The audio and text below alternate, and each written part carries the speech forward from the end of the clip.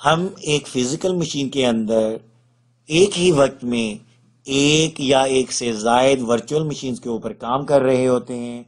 इस एनवायरनमेंट को हम वर्चुअल एनवायरनमेंट कहते हैं और इस सारे प्रोसेस को हम वर्चुअलाइजेशन कहते हैं।